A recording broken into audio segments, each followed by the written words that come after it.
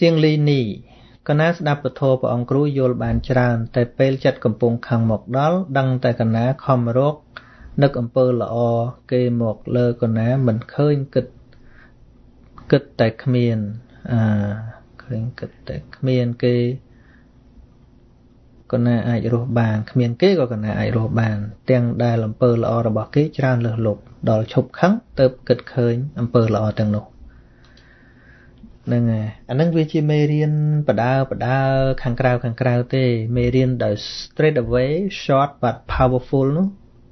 ខ្លីចំហើយវាមានធម៌ពលនោះគឺពិនិត្យមើលចិត្តកុំពិនិត្យមើលគេពិនិត្យមើលគេវាលែងឃើញល្អមែនហើយព្រោះចិត្តវាល្ងឹតឈឹងបាត់ហើយ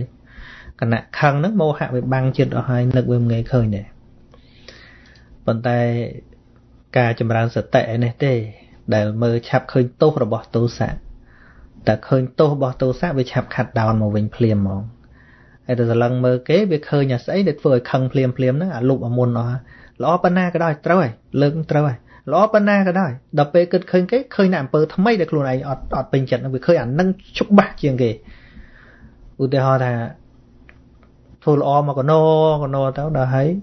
មកធ្វើអីដែលមិនសមរម្យបន្តិចហ្នឹងណាខំនឹកទៅរកនឹកមិន បើវានឹកទៅដោតជប់ជាប់តែកន្លែងអាក្រក់ហ្នឹងបដ ாய் តែបើមេរៀនដែល straight ដែលខ្លាំងនោះគឺសម្លឹងមើលមកចិត្តវិញហ្នឹងតោសង្វេចិត្តតាំងតោសង្សតាន់បជានិតនេះតាមដានចិត្តវិញទល់តែឃើញទោសចិត្តដល់ឃើញទោសចិត្តលែងឃើញទោសគេតែមិនតាន់ឃើញទោសចិត្តនៅតែឃើញទោសគេដដែលអាហ្នឹងអញ្ចឹងព្រោះចាប់កំហុសគេហ្នឹងគឺចិត្តយើងទេចាប់ហ៎ហ្នឹងហើយគឺសតបដ្ឋានបាទ ល្អណាស់មឿនពុទ្ធីខ្ញុំកណ្ដាលមានចម្ងល់មួយចង់សួរទៅព្រះអង្គម្ចាស់ហេតុអ្វីបានជាពធពិតប្រកបមិនសូវមានប្រសងនិយាយអញ្ចឹងពុទ្ធនោះវាថ្លៃធัวនោះវាល្អហើយរបស់ល្អវាកម្រយ៉ាងឯងណាហ្នឹងហើយ ខ្ញុំណាទៅតែបានយល់អំពីព្រះធម៌តិចតួចទេតែយ៉ាងណាវាក្រន់បើជាងមិនយល់សោះព្រោះកាលពីមុនខ្ញុំណាធ្លាប់បួសជាប្រសង់ចំនួន5ភាសាតែមិនយល់អីទេហ្នឹងចម្លើយបានទេយើងកាលហ្នឹងក៏ប្រសងដែរមែនទេមិនក៏យើងមិននិយាយរឿងហ្នឹងថាមកពីមិនដឹងយើងរៀនវាមិនចំណាដល់រៀនវាមិនចំរៀនវាមិនដឹងមិនដឹងបានអីនិយាយហ្នឹងធ្វើម៉េចមិនជាកំហុសរបស់យើងដែរបើយើងវាមិនដឹងធ្វើម៉េច កំហុសរបស់សង្សារវត្តអាហ្នឹងនេះក៏តទៅទៀតទៅចេះតែរៀនធោសោតមួយមុខប៉ុណ្ណោះហើយខ្ញុំកណ្ណានឹងព្យាយាមស្ដាប់លោកចាស់គ្រូបន្តទៀតពោសាធុស្មាសប្បាយចិត្តណាដូចអឺទាំងប្អូនឬបងដែលធ្លាប់បួសដែរហើយឥឡូវនេះមានពេលទទួលស្គាល់ថាយើងអត់បានចេះឥឡូវនេះយើងស្ដាប់ទៅយើងទទួលស្គាល់ថាធម៌ហ្នឹងវាល្អហើយយើងខំរៀនទៀតអញ្ចឹងណា ពួកភាកច្រើនអ្នកធ្លាប់បួសជាពិសេសបួសយូរបន្តិចហ្នឹងគឺកាន់តែប្រមាថមែនតើហ្នឹងមិនទាំងអស់ទេប៉ុន្តែភាកច្រើនពួកច្រឡំច្រឡំថាទៅបួសហ្នឹងគឺពេលចេះសូត្រធម៌ចេះអីហ្នឹងចេះហើយសូត្រធម៌មេធំធំសូត្រប្រែសូត្រអីហើយទេសនាហ្នឹងរៀនតែតាមសភៅគេបរៀនទេសនាបដៅគេលេចកើតនិយាយយកនេះបន្តិចយកនោះបន្តិចគ្មាន បីដកអីមកអាងច្បាស់លាស់ទេឮតាមនេះបន្តិចនោះបន្តិចយកមកយើងបដៅគេចុះឡើងចុះឡើងចុះមានណាហ៊ានតពេលយើងទេចេះប្រហែលក៏គេមិនថាទេច្រឡំដែរធ្វើឲ្យយល់ច្រឡំមែនណាពេលយើងឡើងទេគេរៀបក្រេឲ្យទេប៉ុណ្ណាណៃចង់និយាយនិយាយតែមានណាតខុសគេមិនថាអីក៏គេមិនថាទៅយូរយូរយើងច្រឡំតែខ្លួនយើងចេះពួកបដៅគេរហូតណែនាំគេរហូតត្រូវអញ្ចេះញោមត្រូវអញ្ចោះ គេស្ដាប់ចឹងបើមានអ្នកធ្វើតាមតើមើលបើមានអ្នកធ្វើតាមមួយញោមកុំនិយាយអាក្រក់ញោមកុំចេះកុំចោះព្រោះវាអត់យល់ដល់អត់យល់ទៅអនុវត្តវាអត់កើតប៉ុន្តែជាការពិតណាស់គ្មានអាហ៊ានតទេចេះក៏ដោយមិនចេះក៏ដោយឲ្យតែចាត់តារោធម្មាទេសនាលើករឿងនេះបច្ចៈចេះគៀថាចេះទុយទុយទៅគ្មានពីណាតទេគ្មានទេអត់ទេ អញ្ចឹងជាលទ្ធផលវាបានតអ្នកជាតម្រង់ជាបែបបត់ចឹងទៅឲ្យអ្នកយល់វាអត់យល់អត់កើតជាធនធានអាចនិយាយកើតហ្នឹងអត់កើតជាអ្នកអាចយល់អាចបញ្យល់គេកើតទៀតអីអត់ទេហើយរបៀបស្ដាប់តាមប្រពៃណីអញ្ចឹងសួរមកមិនបានកាន់ពុទ្ធសាសនាម៉ែឪកាន់តែអញ្ចឹងចម្លើយមានតែប៉ុណ្ណាមានស្អីលើសហ្នឹងមានកើតបញ្ញាស្អីដល់អត់មានកើតបញ្ញាផងបានស្អីទៅបញ្យល់គេថាវា មានសារៈសំខាន់ក្នុងការជួយអភិវឌ្ឍចិត្តគំនិតរបស់យើងអីចេះចេះចេះចេះនិយាយបើអត់កើតមិនបើគាត់និយាយមិនកើតថាគាត់បានបញ្ញាពីការស្ដាប់នឹងទេពួកអីព្រោះខេទេសនឹងណាឡើងទេសក៏បានដែរចេះក៏ដោយមិនចេះក៏ដោយនិយាយខុសក៏ដោយត្រូវដោយគ្មានណាថាអីទេអញ្ចឹងណាបើអញ្ចឹងទៅឲ្យទៅចប់សាធុហើយ បាទយ៉ាងណាអាត្មាអនុមោទនាអ្នកធ្លាប់បួសហើយសារភាពអញ្ចឹងណាមកជួបច្រើនដែរអ្នកខ្លះគាត់ធ្លាប់រៀនសកលអាត្មាជួនកាលគាត់រៀនមុនអាត្មាទៀតគាត់ធ្លាប់មកជួបអាត្មានៅហ្នឹងគាត់ថាអត់ដឹងសោះពីមុនហ្នឹងហើយឥឡូវទំបានរៀនបានស្ដាប់អីអីចឹងទៅអស់ចាហ្នឹងហើយថ្ងៃមុនគ្រូបល័យនៅវត្តអាត្មាហ្នឹងព្រឹកមិញខ្ញុំមិនដឹងញោមទេមក អាត្មាចរើនពោផងលោកគ្រូលោកគ្រូសឹមគាត់ជាគ្រូអាត្មាផង ពីមុនមុនប្រឡងចូលទៅបំពេញហ្នឹងគាត់ធ្លាប់ប្រែបល័យភាគ2អីឲ្យអាត្មាកាលអាត្មារៀនថ្នាក់ទី1គាត់រៀនថ្នាក់ទី2អឺទី3រៀនពុទ្ធិកៈបឋមហើយដល់ពេលមុនប្រឡងគាត់ធ្លាប់និយាយរំអាត្មាទុកគាត់ជារៀមច្បង ជាសិស្សច្បងគាត់ ធ្លាប់និយាយរឿងរ៉ាវប្រាប់ការអាត្មាទៅបួសហ្នឹងហើយអឺគាត់ធ្លាប់ប្រែបល័យប្រែអីឲ្យប៉ុន្តែបានជួបឯថ្ងៃមិញហ្នឹងអឺញោមទេមកឃើញ miss call អាត្មាទេទៅញោមស្រីវិញទៅញោមស្រីថាគ្រូសឹមចង់ជួបថាជួបមិនទៅថាគាត់ថាចង់អរគុណទំយល់យល់ហ៎អូឥឡូវយល់ហ្មងអភិធម្មដាក់ទៅយល់ហ្មង ថាពីមុនអត់យល់ឃើញទេហ្នឹងគាត់គ្រូណាគាត់ទៅភ្ងាទៅភ្ងាគាត់ថាយល់ហ្មងឥឡូវស្ដាប់ទៅយល់ច្រើនណាអញ្ចឹងបានថាយើងចំណាំឲ្យទៅចេះបល័យចេះអីយើងថាចាអាហ្នឹងចេះភាសាតាមិនមិនចេះទេភាសាគាត់ចេះភាសាគាត់ខ្លាំងជាងអាត្មាមែនភាសាបល័យភាសាអីគាត់បរៀនលោករហូតប៉ុន្តែតួបរមត្ត តួសភាវៈនេះវាទល់តែយល់ដោយបញ្ញាត្រូវសិក្សាស្រាវជ្រាវសង្កេតពិនិត្យទើបយល់បានតែមិនយល់ដល់សភាវៈទេថាងោកងោកនឹងអត់យល់ទេអត់យល់ទេហ្នឹងហើយឥឡូវមិនបាននិយាយជាមួយគ្នាមែនប៉ុន្តែចម្រើនពោលគ្រូផងថាអាត្មាទទួលបានហើយអត់អីទេតែយើងកំពុងស្ដាប់ហើយតាមមើលហើយដូច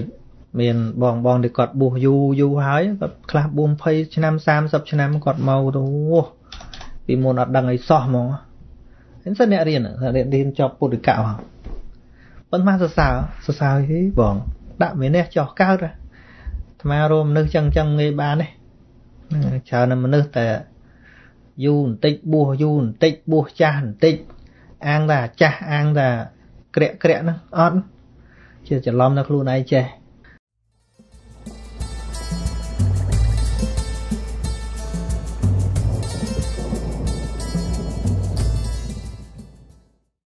សំណួរបន្តនេះគឺពាក់ព័ន្ធនឹងស្ថានភាពបច្ចុប្បន្នបៀនជញ្ញាជញ្ញាជញ្ញមិនហ៎ឬអានជាអង់គ្លេសឬក៏ខ្មែរជញ្ញហ៎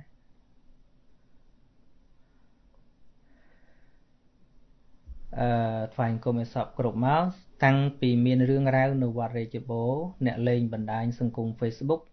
មួយចំនួនបានធ្វើការរិះគន់និងជេរប្រមាថលើព្រះមហាវិមលធម៌ខ្លាំងខ្លាំងអ្នកខ្លះមិនដឹងអីទេឃើញគេជេរជេរដែរថាលោកជាសង្ឃហង្សាជាសង្ឃคล้ายคล้ายអីជាដើមពួកគេថាធ្វើនេះដើម្បីការពារច្បាប់រដ្ឋដើម្បីការពារសិទ្ធិមនុស្សការពារព្រះសង្ឃអឺការពារសិទ្ធិមនុស្សការពារព្រះសង្ឃ តែក្រន់តែពួកគេជេរប្រមាថព្រះសង្ឃកប់កប់មាត់ពួកគេមិនគិតទេសូមព្រះអង្គគ្រូបង្ហាញការយល់ឃើញក្នុងរឿងនេះផង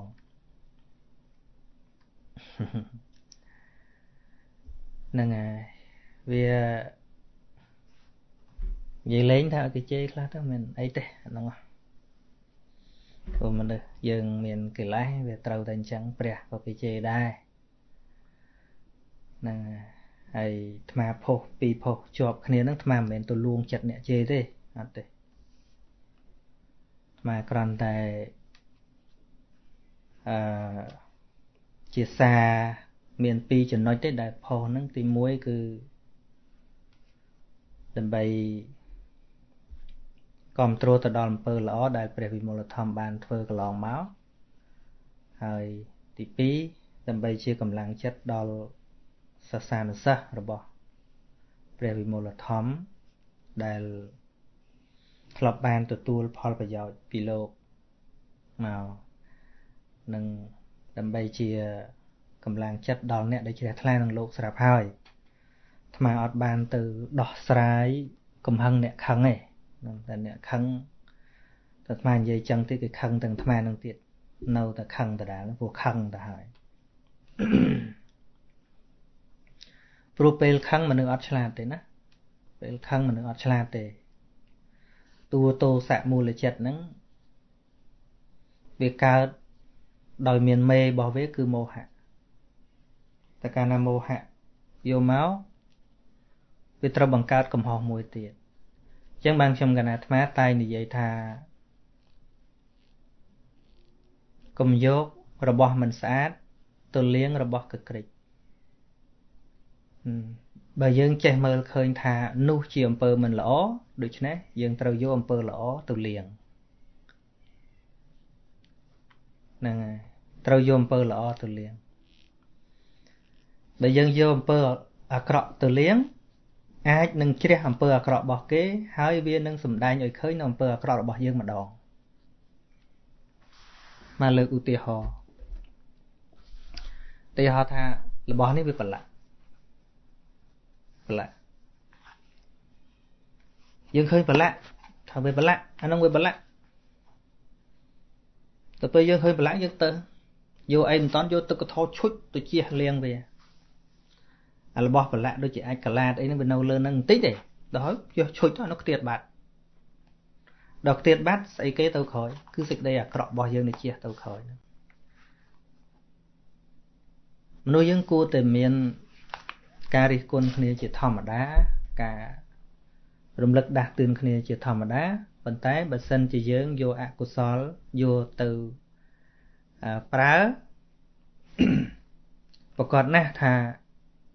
ពេលដែលយើងខឹងក្រោតនោះយើងបង្កើតកំហុសថ្មីមួយទៀតហ្នឹងឧទាហរណ៍ថាគេជេរយើងអាក្រក់ទេអាក្រក់យើងអត់ចូលចិត្តទេប៉ុន្តែយើងត្រំបានទៅវាយគេដល់វាយគេបែកក្បាលគេ របួសបាក់ដៃបាក់ជើងឬក៏គេស្លាប់ដោយសារគេជេរយើងណាអាក្រក់ហើយប៉ុន្តែយើងអត់ដោះស្រាយតាមរបៀបមានបញ្ញាទេយើងយកកំហឹងយកទៅដោះដល់ពេលមានកំហឹងយកទៅដោះយើងបង្កើតកំហុសថ្មី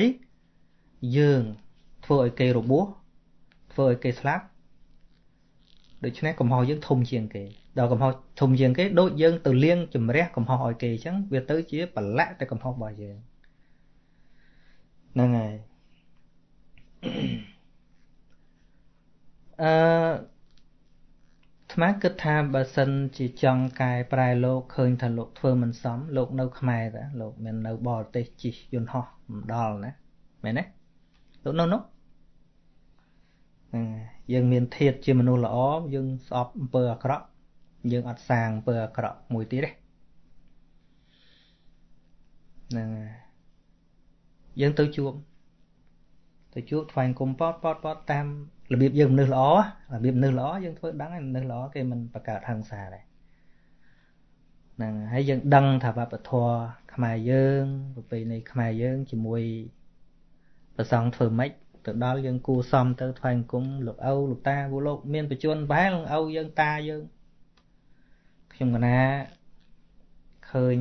ការវ័យដំសាមណេរអញ្ចឹងដូចជា មិនល្អមើលសោះហ្នឹងហើយតើលោកឪលោកអ៊ំលោកតាមានវិធីផ្សេងក្រៅពីការវ័យអញ្ចឹងទេហ្នឹងទៅរំលឹកដាស់តឿនឲ្យលោកស្ដាប់អាហ្នឹងមានន័យថាយើងបានធ្វើល្អហើយហើយប្រាប់ហើយប្រាប់មិនស្ដាប់ប៉ុន្តែយើងអត់ផងវាមិនមែនជាចេតនាដោះស្រាយការជេរប្រមាថមិនមែនជាចេតនាដោះស្រាយទេ ហ្នឹងហើយប៉ុន្តែដូចអាត្មាថាអញ្ចឹងដូចអាត្មាបញ្យល់ហ្នឹងបានតែអ្នកយល់ទេបានតែអ្នកអត់ចង់ជេរតែអ្នកជេរគេមិនយល់ទេអ្នកជេរគេជេរទៀតឥឡូវអូវាឆ្ងាញ់តែជេរអញ្ចឹងហើយពើហឹង្សាក្នុងប្រទេសយើងច្រើនណាស់អាត្មាមើលណាបើសិនជា ខ្មែរយើង ពិតជាស្អប់អំពើហិង្សាមែនអាត្មាថាដូច មិនចឹងទេតែមែនទេនោះឆ្ងាញ់នឹងជេរជាងមកមើលឆ្ងាញ់នឹងជេរជាងស្អប់អំពើហិង្សាពូពេលជេរនឹងហិង្សាដែរណាស្គាល់ស្គាល់ហិង្សាដែរហិង្សាវាប្រព្រឹត្តទៅតាមផ្លូវចិត្តប្រព្រឹត្តទៅតាមផ្លូវវាចាប្រព្រឹត្តទៅតាមផ្លូវកាយហិង្សាអង្គធោគឺតោសៈនឹងឯងអត់ទាំងស្គាល់ហិង្សានឹងល្មិចផងអីគេហិង្សា ដែលយើងកាត់ពាក្យមកយើងហៅកំហឹងកំហឹងហ្នឹងហើយអាហ្នឹងហើយហិង្សាហ្នឹងទេអត់ស្គាល់ពាក្យហិង្សាហិង្សាហ្នឹងស្អីគឺកំហឹងហ្នឹងអញ្ចឹងអំពើណាដែលធ្វើទៅដោយកំហឹងទៅតាមផ្លូវចិត្តក៏ដោយទៅតាមផ្លូវវាចាក៏ដោយទៅតាមផ្លូវចិត្តផ្លូវកាយក៏ដោយនោះឯងជាអំពើហិង្សាហ្នឹងហើយបើយើងយល់ហិង្សាពិតប្រកបយើងអត់ជេរទេបើស្អប់អំពើហិង្សាពិតប្រកបយើងអត់ជេរទេ ប៉ិនបើអ្នកជេរហើយអ្នកមិនស្អប់ហិង្សាទេព្រោះអ្នកកំពុងតែបង្កើតហិង្សាមួយទៀតគឺកំហឹងតាមផ្លូវវាចាហិង្សាតាមផ្លូវវាចាឃើញទេហ្នឹងហើយមកចូលរួមប៉ុណ្្នឹងទេហើយអាត្មាមិនមិនគ្រប់គ្រងថាការដែលធ្វើបាបរាងកាយជារឿងត្រូវណាអាត្មាផុសអត់មានគ្រប់គ្រងរឿងហ្នឹងទេអាត្មាពីមុនធ្លាប់វ័យដែរប៉ុន្តែដល់ក្រោយមកអាត្មាឃើញថា បើទោះជាប្រើវិធីផ្សេងមិនបាច់វ័យក៏អាត្មាណែនាំសិស្សបានដែរមិនថាឈប់វ័យអញ្ចឹងគ្រាន់អាត្មាផុសប៉ុណ្ណឹងក៏មានអ្នកយល់ច្រឡំថាអាត្មាការពារការវ័យអត់ទេអាត្មាគ្រាន់តែនិយាយឲ្យអ្នកទាំងអស់គ្នាឃើញគុណសម្បត្តិលោកប៉ុណ្ណោះទេហ្នឹងហើយដាច់ពីគ្នាណាអាត្មាអត់មានសរសើររឿងវ័យទេអត់ទេបើមិនចឹងអាត្មាមិនឈប់វ័យទេ មកឈប់វ័យពីមុនមកវ័យខ្លាំងដែរបើគ្រាន់តែអាត្មារកវិធីផ្សេងបានហើយអាត្មាឈប់ក៏អាត្មាឈប់ទៅរឿងវ័យហ្នឹងហ្នឹងហើយហើយអាត្មាដូចជាមិនចង់និយាយអីរឿងហ្នឹងច្រើនទៀតដែរស្រេចលើអ្នកពិចារណាមើលចុះតើខ្មែរយើងពិតជាស្អប់ហង្សាមែនទេ ណាបើស្អប់ហង្សាទល់តែកុំជេរពូជេរជាហង្សាមួយពួកបើមិនខឹងជេរមិនកើតទេណាជាវិហង្សាវិតកៈពាក្យហើយហើយរស់តអង្គធัวដើមរបស់វាហ្នឹងគឺតោសៈនឹងឯងហើយដូចជំរាបចឹងថាបើអ្នកពិតជាស្អប់អំពើអាក្រក់អ្នកកុំធ្វើអំពើអាក្រក់បើអ្នកពិតជាស្អប់ហង្សា អ្នកកុំប្រើអំពើហង្សា ហ្នឹងហើយយល់ទេហើយបើអាត្មានិយាយប៉ុណ្ណឹងជេរអាត្មាគឺអ្នកកំពុងតែហឹង្សាហើយអ្នកកំពុងតែខឹងអាហ្នឹងហើយហឹង្សានិយាយមកចេញដោយកំហឹងអាហ្នឹងហើយហឹង្សានោះហ្នឹងហឹង្សាដូចជាវិតកៈខុសនោះព្យាបាទវិតកៈវិហិង្សាវិតកៈអីហ្នឹងមានចាំបាច់ដល់ប៉ះ គេឲ្យរបួសស្នាមអីគ្រាន់តែគំនិតកំហឹងចង់ឲ្យគេវិនិច្ឆ័យហ្នឹងអាហ្នឹងឯងហិង្សាយល់ទេហិង្សាមិនបាច់ចេញពាក្យសម្ដីផងមិនបាច់ដល់ទៅចេញសកម្មភាពឲ្យគេរបួសផងកំហឹងគិតធ្វើម៉េចឲ្យតែគេវិនិច្ឆ័យដល់រធានអាហ្នឹងឯងហិង្សាជាព្យាបាទហ្នឹងហើយថ្មឲ្យនិយាយឲ្យគិតអញ្ចឹងយើងមើលដូចជាកូនក្មេងឆក់កបោបអីតិចតួច មើលគេវាយមិនខ្លះមានកំហុសប៉ុណ្ណឹងណាឃើញគេវាយមិនខ្លះខ្លះវាយសម្លាប់ក៏មានដែរក្នុងស្រុកយើងណាឲ្យទៅស្រេចហឹចោលហឹចោលអញ្ទៅវាយអាហ្នឹងឯងហឹង្សានោះហហិង្សាចេញដោយកំហឹង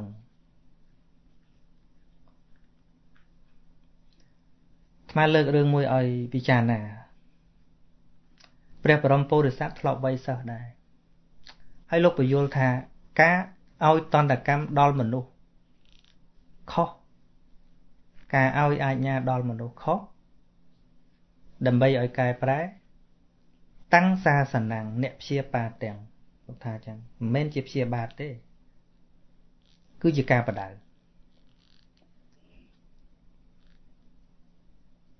កាលហ្នឹងមានអឺ បរិជ្ជកុមារមួយអង្គនោះបៃតាបដៅអត់បាន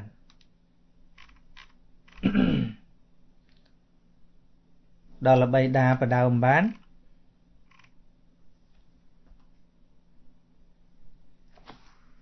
អឺយកទៅផ្ញើអាចារ្យទិសាប្រមក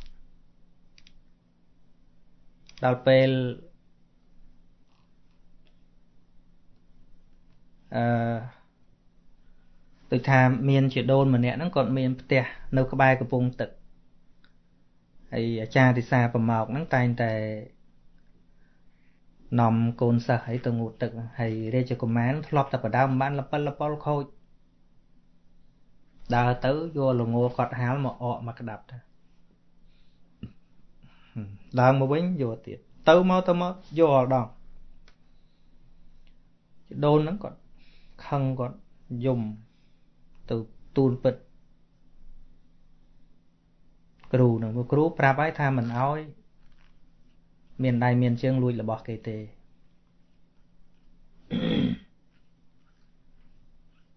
ហ្នឹងហើយអញ្ចឹងយើងយើងចែកហឹង្សាហើយនឹងមិនហឹង្សាមកនិយាយរឿងនឹងស្ដាប់ទៅ យល់បើសិន ជាក្រុមញាតរបស់យាយនោះឃើញរាជកុមារហ្នឹងយកអញ្ចឹងហើយក៏ខឹងចាប់វៃដំរហូតទៅដល់សន្លប់ឬក៏វាបាក់ដៃបាក់ជើងអីចឹងទៅ ដោយមិនមែនជាការបដៅទេអានោះដោយកំហឹងដោយយើងយើងវៃចោលឆក់កបោរាល់ថ្ងៃចឹងអា នោះមិនមែនវៃកប៉េះគូតទេគឺដាក់តាណាក៏ដាក់ក្បាលក៏ដាក់ទ្រូងក៏ដាក់តាណាក៏ដាក់បើវៃកប៉េះគូតនោះមិនមែនវៃងាប់ទេដល់ពេលចឹងទៅហាមមិនស្ដាប់គ្រូគ្រូហ្នឹងនៅណាគេតួអង្គពពោធិសត្វអតីតជាតិរបស់ពុទ្ធយើងហ្នឹងអឺ ឲ្យសិស្សដែលមានមាឌធំធំចាប់ដៃមកខាងមួយឲ្យពោបមកដាក់ខ្នង3បដៅ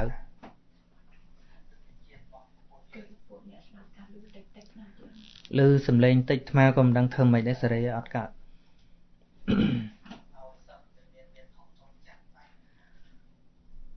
ដាក់ហ្នឹងមិនមែនដាក់ទ្របទេឲ្យយកអីចេញដាក់ផ្ទាល់ចឹងឆ្វាប់ឆ្វាប់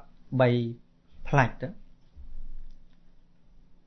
លឹងស្នាម ស្នាមនេះស្នាមមិនមែនស្នាមគ្រាន់តែចំទេស្នាមរហូតហ្មងវាចេញឈាមព្រិចព្រិចផងដល់ពេលបរៀនចប់ដល់បរៀនចប់ទៅលាគ្រូទៅវិញហើយសិស្សទាំងអស់ក៏ប្រាប់គ្រូនឹងដែរថាបើលោកគ្រូត្រូវការពឹងពាក់អីទៅរកពួកយើងចោះ គ្រូនឹងដឹងដឹងតែសិស្សនឹងគុំមិនដឹងអញ្ចឹងនៅពេលដែលសិស្សនឹងនៅក្មេងអត់តន់ទៅទេព្រោះថាទៅឈាមរាវហ្នឹង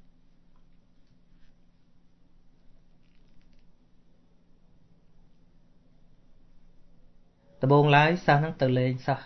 គ្រូហ្នឹងទៅលេងសិស្សផ្សេងផ្សេងកូនអ្នកក្រអីធម្មតាមនុស្សធន់កដាលអីធម្មតារហូតដល់ ចាស់ខ្លួនបន្តិចទៅសិស្សដែលជាកូនស្ដេចហ្នឹងបានឡើងសោយរាជអាយុខ្ទង់40អីហើយដែរបានគ្រូនឹងទៅលេងចង់ដឹងមើលចិត្តសិស្សនឹងមានគំនុំអត់អញ្ចឹងណាកាន់ចង់ដឹងទេមិនមែនចង់ទៅពឹងពាក់រអីទេលោកគ្មានទៅប្រាថ្នាអី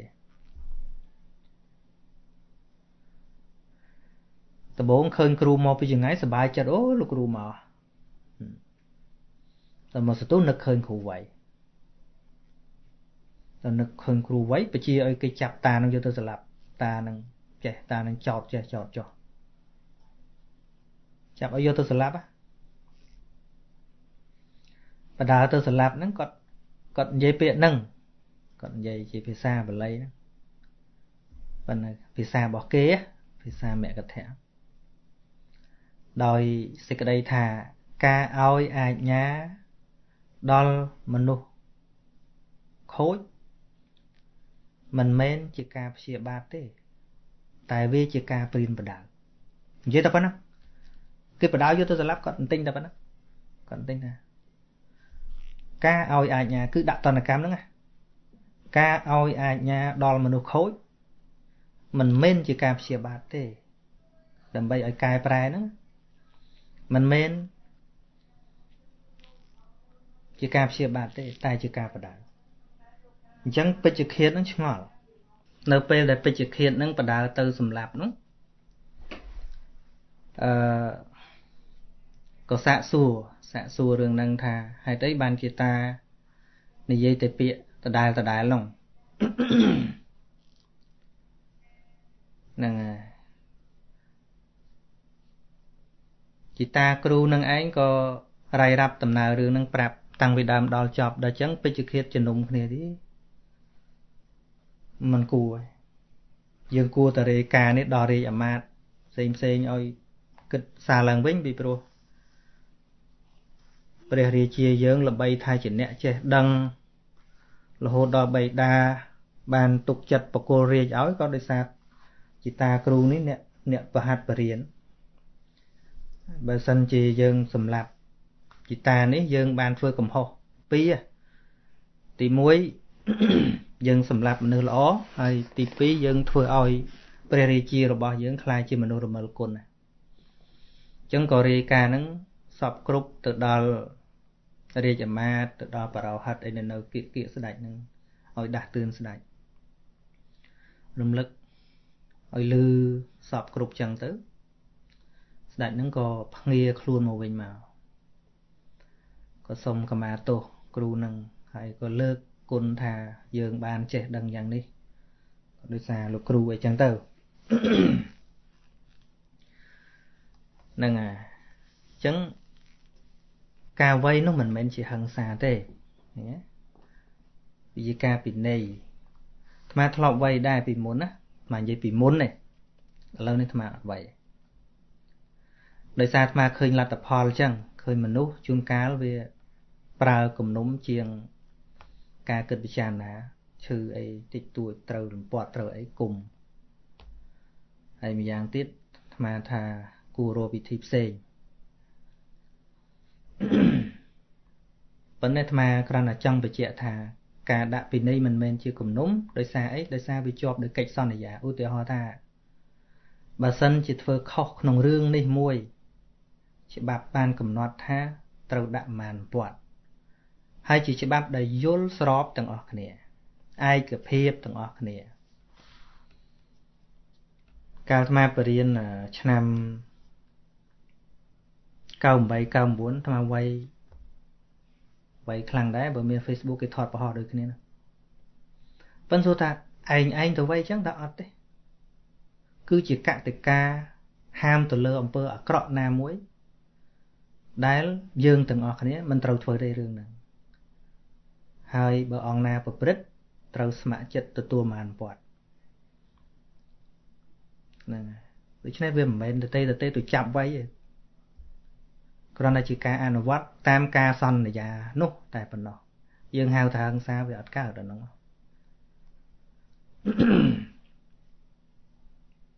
ណាហិង្សាវាចេញពីកំហឹងពាក្យហិង្សាណា គុំទៅគុំទៅសង្កត់លើអាស្នាមកប៉េះគូតហ្នឹងហិង្សាមិនអាស្នាមកប៉េះគូតហ្នឹងទេបើយើងយករឿងស្នាមមកធ្វើជាហិង្សាកោះខ្យល់ក៏ហិង្សាដែរគូស្នាមជាប់ដែរអចាក់ថ្នាំក៏ហឹងសាដែរវាឈឺដែរនោះកាច់ដៃកាច់ជើងធ្វើសរសៃក៏ហឹងសាដែរវាឈឺដែរនោះអញ្ចឹងយើងត្រូវមើលទៅលើចេតនា ទៅលើចេតនាតែហឹងសាមែនទេហ្នឹងហើយគេលុយយើងមិនស្គាល់ថាស្អីហឹងសាស្អីមិនហឹងសាក៏ឃើញស្នាមកាប៉េះគូឋាននឹងហឹងសាបើនឹងហឹងសាមានរឿងច្រើនណាស់ដែលយើងត្រូវឈឺហឹងសាឧទាហរណ៍ដូចពេទ្យវះវះមិនឈឺដកថ្មិញឈឺប៉ុន្តែចេតនាស្អីគេចេតនាឲ្យជាហ្នឹង យើងយើងវិនិច្ឆ័យចឹងវាអត់ត្រូវវាអត់ត្រូវដល់ជេរប្រមាថទៅជាហិង្សាពិតប្រកបព្រោះហ្នឹងកំហឹងពិតប្រកបបើសិនឧទាហរណ៍ថាឥឡូវណាស់ប៉ាលើកចុះលើករឿងថ្មមិនបាច់លើករឿងទីគុណវិមលរឿងថ្មវាយជាងការថ្មអត់វាយទេថ្មឲ្យនៃអ្នកអនុវត្តច្បាប់អ្នកវាយឧទាហរណ៍ថាច្បាប់វត្ត ហាមមិនឲ្យដើរលេងយប់ពេលរៀនត្រូវរៀនហាមទៅផ្ទះគេទៅមើលវីដេអូទៅមើលអីវាមានអញ្ចឹងមិនចង់និយាយប៉ុន្តែវាមានអញ្ចឹងបើហ៊ានតែដើរលេងផ្ទះគេទៅមើលទូរទស្សន៍ទៅមើលវីដេអូរឿងមកហើយច្បាប់ហ្នឹងដើរម្ដងពីបំពត់អីចឹងតាហើយសិតដឹងទាំងអស់គ្នាតាមិនមិនអត់ដឹងផងដើរតែម្ដងមកដល់ចាប់វៃមកណាអត់ផងហ្នឹងប្រាប់មុន ប្រាប់មុននឹងប្រហែលដងហើយទេប្រាប់នៅតែមិនស្ដាប់បានបកកើតទៅជាច្បាប់អញ្ចឹងបើនៅទៅទៅទៀតតាមដានដឹងត្រូវទទួលហើយដល់ពេលទទួលដេញវៃទេអត់ទេនៅនោះលូនមកឲ្យវៃហឹង្សាគឺចាប់វៃដោយនៅនោះមិនព្រមណាហើយដល់នៅនោះមកទទួលកំហុសហ្នឹងដឹងខ្លួនឯងខុសហ្នឹងលូនមកឲ្យវៃឃើញទេមកឲ្យដាក់តនកម្មហ្នឹង អានេះបើគិតតែត្រឹមប៉ុណ្ណឹងវាមិនរឿងសាទេប៉ុន្តែមានអ្នកឆ្ងល់ថាចុះពុទ្ធថាមិនដែរហ្នឹងតាមពិតព្រះអង្គក៏មិនអោយໄວដែរប៉ុន្តែវិនិច្ឆ័យតែរឿងហឹង្សាឬមិនហឹង្សាប៉ុណ្ណោះហើយណាជាងការអ្នកវាយបាក់ចិត្តជាងជាងអ្នកដែលត្រូវឲ្យគេវាយទៅទៀតព្រោះជាការអនុវត្តតាមអកតិកាវិន័យនោះពួកអីគ្នាឯងនោះឧទាហរណ៍អ្នកវាយជួនកាលបាក់ចិត្តជាងអ្នកដែលត្រូវឲ្យគេវាយទៀត ព្រោះច្បាប់ហ្នឹងយើងបង្កើតទាំងអស់គ្នាហើយដល់ពេលខ្លួនឯងវាត្រូវវាយលើមិត្តភក្តិខ្លួនឯងហើយមិនវាយវាមិនកើតព្រោះច្បាប់ហ្នឹងវាអញ្ចឹងច្បាប់អញ្ចឹងណាហើយសួរតែចិត្តហ្នឹងហឹង្សាទេពេលវាយហឹង្សាទេបាក់ចិត្តណាបាក់ចិត្តយល់យល់អាពាក្យហ្នឹងហឹង្សាដូចចោលឆក់កបោបវាយឯណានៃហើយយើងថាវាយឲ្យរៀងដែរប៉ិនទៅមើលចិត្តខឹងខឹងខ្លាំងណាស់ហ្នឹងធម្មតាទេវាយគ្នា អុកដុំថ្មក៏មានអីក៏មានអាហ្នឹងហើយហឹង្សានោះហ្នឹងហើយមានអ្នកខ្លះនៅតែថាលើសំឡេងខ្សោយស្មានមិនដឹងថាយ៉ាងម៉េច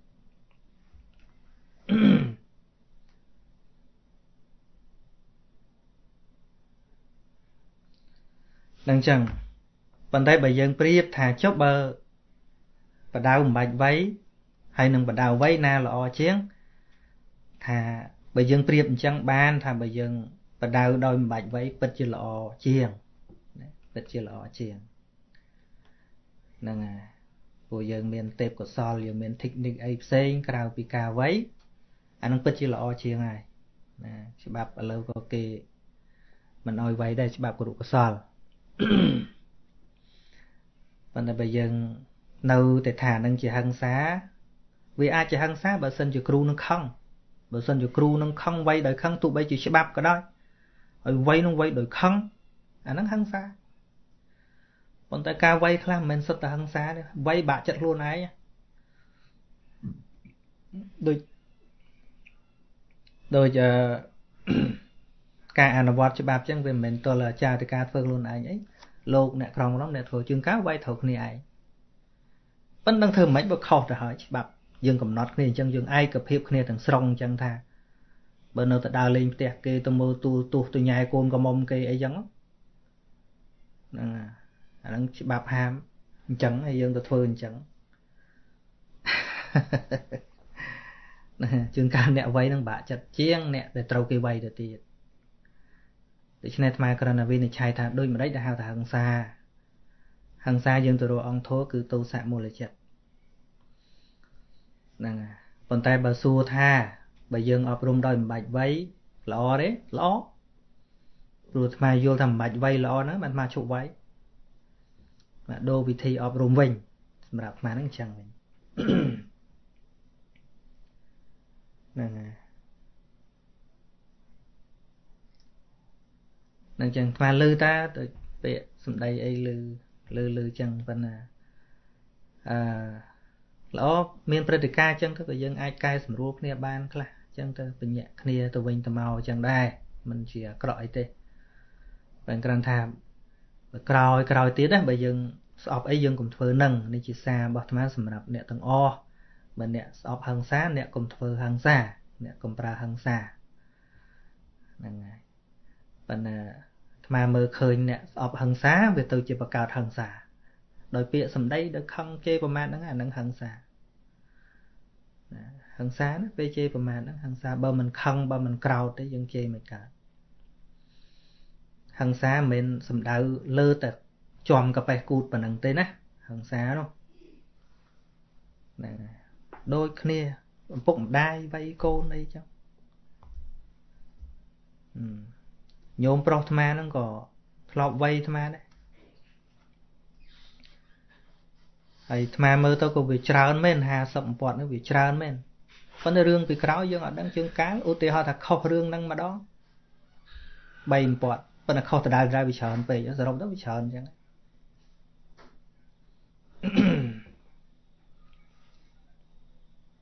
ប៉ិនបើសួរថាបើមានវិធីផ្សេង ក្រៅពីការវ័យល្អទេល្អអាត្មាថាល្អណានឹងយើងវាមិនចាំបាច់មានគំនុំ ព្រោះសិស្សខ្លះវាអាចមានគំនុំណាអ្វីទៅអាចមានគំនុំប៉ុន្តែសិស្សច្រើនទៀតអត់ទេអាត្មាកាលមុនកាចវ័យសិស្សអាត្មាគិតទៅបែបគេគុំអីហើយតាមមើលប៉ុន្តែសិស្សអាត្មាទៅប្រឡងអត់មានធ្លាក់ណាម៉ោងរៀនដឹងរៀនតែអត់រៀនរឿងវិន័យដាក់អញ្ចឹងនៅមិនបាននៅនៅមិនបានទៅទៅអត់ផាមផងនរណាមិនចង់ត្រូវពាត់កុំនៅប្រាប់ចឹងដែរទ្វារបើករហូតណា ទីហៅម៉ោងប៉ុណ្ណេះម៉ោងពីម៉ោង7ដល់ម៉ោង10យប់ហ្នឹងគឺម៉ោងហ្នឹងគឺម៉ោងរៀនអត់មានម៉ោងធាក់គ្នាទេអត់មានម៉ោងបលែងគ្នាទេតែបលែងគ្នាខុសកតិការៀនមិនចេះជារឿងមួយ តែមិនរៀនទៅទៅជាកំហុសអារៀនឲ្យមិនចេះអានឹងអនុគ្រោះបាន តែតែមិនរៀនច្បាប់នឹងអត់អនុគ្រោះឯងថ្មោងមកការអាត្មាបរៀនចឹងហើយបើថានៅមិនបានបាក់ទ្វារហ្នឹងហើយ នៅពេលខុសប្រាប់ទៀតថាឥឡូវកំហុសកាលដែលអាត្មានៅប្រើច្បាប់អាជ្ញាណាច្បាប់កាចឧទាហរណ៍ថាឥឡូវខុសទៅដើរលេងអត់រៀនអត់សូត្រកំហុសហ្នឹងវាផ្ទួងទួនឡើង3ដងអញ្ចឹងវាត្រូវ9ពាត់បាត់ហើយម្ដង3ម្ដង3ពាត់ម្ដង3ពាត់អញ្ចឹងតាមដានទៅឡើង9ដងបាទមុនវ័យសួរទៀត ហ្នឹងហើយព្រោះបង្កើតច្បាប់ប្រាប់អញ្ចឹងហើយថាបើមិនចង់ឲ្យវ័យទេ ពេលខុសប្រហែលក៏ដោយក៏អត់វ័យដែរបើគិតថាកន្លែងនៅនៅអត់កើតទៅរៀនកន្លែងផ្សេងទៅនៅកន្លែងផ្សេងអត់ត្រឹមពាត់ទេទោះខុសហើយក៏ដោយអត់បីគិតថាកន្លែងតឹងពេកនៅមិនបានមកថាទៅចាស់អត់បីខុស100ពាត់ក៏អត់បីប៉ុន្តែបើចង់នៅរៀនទៀត ត្រូវអនុវត្តច្បាប់ហ្នឹងលោកលូនឲ្យបីកបេះគូតលោកឃើញលោកព្រមហ៎ហើយឃើញអ្នកវ័យវាអត់ហឹង្សាគាត់នឹងអនុវត្តតាមនោះហ្នឹងហើយមកមើលគេចែកហឹង្សានឹងមិនហឹង្សានឹងវាអត់វាអត់ដាច់បើយើងយកត្រឹមស្នាមកប៉េះគូតជាហឹង្សាអានឹងវះស្លឹងស្នាមពុះនេះក៏ហឹង្សាដែរវះស្នាមណាវះឈឺណាណាប៉ិនសរុបមកថាបើសិនជាយើងមានវិធី មិនវ័យក៏បរៀនចេះដែរគួរតែកុំវ័យអានឹងតាមការយល់ស្របរបស់អាត្មាព្រោះអាត្មាក៏បានលះអាការវ័យនឹងបានដែរប៉ុន្តែប្រៀបធៀបមើលរៀងចុះខ្សោយបន្តិចដែរអ្វីដែលបរៀន អត់បីយើងប្រើវិធីផ្សេងមកប្រៀបសិស្សពីមុនសិស្សក្រោយសិស្សពីមុនរៀងខ្លាំងជាងតែយើងតឹងរឹងយើងតឹងរឹងរៀងខ្លាំងជាងក្រោយរៀងខ្សោយជាងបន្តិចតែអ្នកដែលមានស្មារតីល្អនៅតែរៀនចេះចឹងប៉ុន្តែបើប្រៀបគុណភាពរៀងខុសគ្នាបន្តិចវិន័យច្បាប់តឹងហើយនឹងច្បាប់អត់ដាក់តនកម្មហ្នឹងរៀងខុសគ្នាបន្តិចប៉ុន្តែតនកម្មយើងអាច ដូរពីវ័យទៅធ្វើកិច្ចការងារអីផ្សេងឧទាហរណ៍ដូចជារែកទឹកឬក៏អឺដោះលាងបោសសម្អាតវត្តអីអីចឹងទៅអាហ្នឹងយើងអាចផ្លាស់ប្ដូរបានប៉ុន្តែបើមិនមានតនកម្មសោះបានទេមើលទៅ ការធ្វើជាគ្រូចង់ឲ្យបែកគេល្អហ្នឹងកណ្ដាដូរពីវ័យទៅជាធ្វើកិច្ចការងារទៅជាចម្លងកពីទៅជាអីអីចឹងទៅណានេះវាមានវិធីសាស្ត្រច្រើន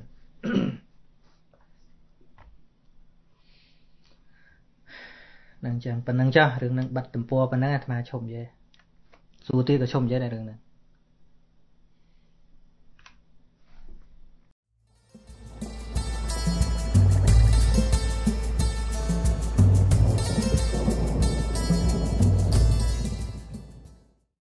ឆយសុភាតើមនុស្សដោយសារគ្រោះថ្នាក់រថយន្តបុកស្លាប់ភ្លាមភ្លាមតើចិត្តចុងក្រោយ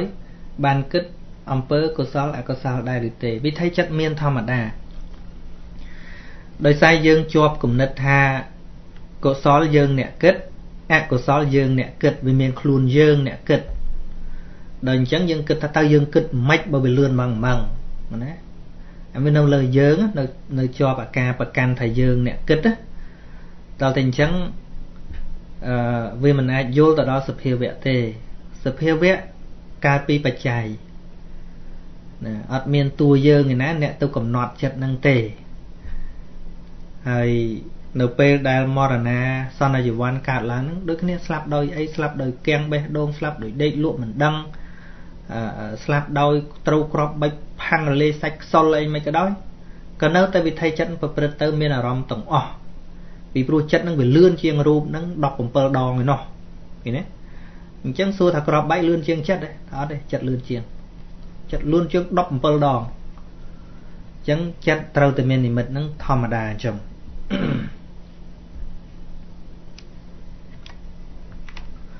តែវាអាស្រ័យទៅលើអបនិស្ស័យថាបើកុសលហ្នឹងវាសន្សំជារឿយរឿយមកអញ្ចឹងទៅពេលផ្ដុំមកដល់តែអកុសលហ្នឹងវាចូលមកភ្លាមបើសំតែរឿងគំនុំគុំគួនអខិតព្យាបាទចំណែននិនទៀតទៅពេលភឹងទៅអាហ្នឹងវាប្រកាស និមិត្តឲ្យយើងឃើញខាអាក្រក់ចឹងទៅហៅថាអាចិនកម្មឬក៏ពហុលកកម្មវាមានឱកាសច្រើនដើម្បីចូលមកនិមិត្តឲ្យឃើញ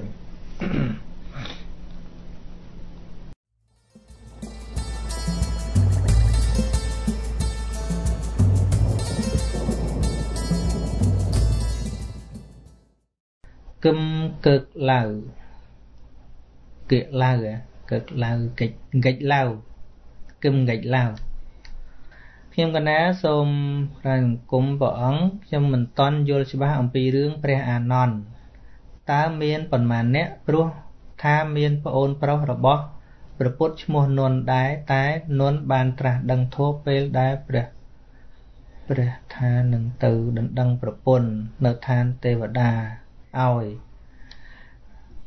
ប្រធេរៈឈ្មោះអានន្ទមានតែមួយអង្គទេឃើញវាមាន មានពាក្យអានិងពាក្យនន់នន់ដែលបានឃើញសច្ចធម៌បានជាព្រះរហន្តនៅពេលដែលរៀបការហ្នឹងមិនមែនឈ្មោះអានន្ទទេឈ្មោះនន់នន់អូតួជាងតួតែម្ដងនន់នន់ព្រះនន់ព្រះនន់អញ្ចឹងហើយដល់អានន្ទដែលជាឧបថារបស់ពុទ្ធហ្នឹងមានតែមួយទេណាមានព្រះអានន្ទតថេហ្នឹងហើយបើកុហកហ្នឹងមានរឿងអឺ ឈ្មោះនុនហ្នឹងក៏មានមួយដែរនុនតមាននុបអីចឹងហ្នឹងយើងស្គាល់ក្រៅពីហ្នឹងមានច្រើនទៀតប៉ុន្តែអាត្មាដឹងបានខ្លះខ្លះចឹងហើយនុនតមាននុបធ្លាក់នរកនេះហ្នឹងហើយនឹងអានន្តសិទ្ធិអានន្តសិទ្ធិនេះឈ្មោះដូចព្រះអានន្តដែរប៉ុន្តែមិនមែនជាអ្នកបួសទេតែលើកមកថាព្រះអានន្ទមានប្រមាណដែលថាព្រះអានន្ទហ្នឹងគឺសំដៅទៅលើប្រធេរៈមួយអង្គដែលជាឧបថារបស់ពុទ្ធមានតែមួយអង្គទេហើយជាដូនមួយព្រះអង្គដែល បានសម្រេចធัวពេលរៀបការនោះឈ្មោះនន់មិនឈ្មោះអានន្តទេលីអានជុតតនីអាហ្វូជិតតនីលីអានហ្វូជិតតនីថ្វាយបង្គំលោកគ្រូខាងក្រោយជាសំណួរដែលកណាឃើញក្នុង Facebook ហើយមានចម្លើយខុសៗគ្នាសូមសួរថាតើព្រះសង្ឃក្រាបថ្វាយបង្គំអ្នកមានគុណតើខុសដែរឬទេមកដូចឆ្លើយពីរដងហើយសំណួរហ្នឹងណា អ្នកមានគុណនោះបើសិនជាបួសដូចគ្នាហើយបួសមុនជាញោមប្រុសហើយលោកបួសមុនហើយលោកកូនបួសក្រោយថ្វាយគុំបានដូចគេឯងធម្មតាតែបើលោកទាំងពីរនៅជាក្រហោះគឺជាអវន្តយបុគ្គលជាបុគ្គលដែលបព្វជិតមិនក៏បីថ្វាយបង្គំអញ្ចឹងណាគិតតាមវិន័យគឺមិនត្រូវទេមិនត្រូវថ្វាយបង្គំទេ តែមិនមែនមិនអនុញ្ញាតឲ្យបម្រើកិច្ចការផ្សេងផ្សេងឡើយ នឹងចឹងនឹងវិន័យគឺដាក់បានគឺបានមិនបានគឺមិនបានអត់មានប៉ុនតែទេណាវិន័យអត់មានប៉ុនតែដូចច្បាប់ចរាចរណ៍អញ្ចឹងតែភ្លើងក្រហមត្រូវតែឈប់អត់មានប៉ុនតែខ្ញុំបញ្ញាប់ទេណាអត់ទេគឺមិនវាចឹងច្បាប់គឺច្បាប់ហើយយើងចេះយកគំនិតយើងហ្នឹងម៉ែតើមានទៅតោះខុសអីអាហ្នឹងយើងដាស់ថាយើងមើលច្បាប់ ច្បាប់គឺច្បាប់បើច្បាប់ចេះតែប៉ុន្តែវាលែងជាច្បាប់ហើយសុច័ន្ទអណ្ដ្រេអង់ដ្រើអង់អណ្ដ្រេខ្ញុំណាសុំសួរសំណួរថាតើចិត្តហសិតបាគឺជាចិត្តអ្វីដែរគឺម្ចាស់កណាភ្លេចបាត់ទៅហើយហសិប្រែទៅសោចហសិហសិហសិហ្នឹងណាប្រែទៅសោចហាហាហាបណ្ណាថាសោច ហសិតុបាតនេះហសិតៈហ្នឹងគឺថាអឺតុបាតៈមានន័យថាការចិត្តដែលញ៉ាំងការញញឹមឲ្យប្រកបឡើងអញ្ចឹងប្រែឲ្យឲ្យចំសភាវៈទៅថាចិត្តដែលញ៉ាំងការញញឹមឲ្យប្រកបឡើងមានន័យញញឹមហ្នឹងមិនអត់ចិត្តទេគឺចិត្តហ្នឹងធ្វើឲ្យមានការញញឹមនឹងហៅថាហសិតបាត ហើយការញញឹមនេះគឺជាការញញឹមរបស់ព្រះរហន្តឬក៏បក្ខីណាស្របមិនមែនការញញឹមរបស់ពុទ្ធជនទេក៏មិនមែនជាការញញឹមរបស់ព្រះសិក្ខបុគ្គលថ្នាក់ក្រោមដែរ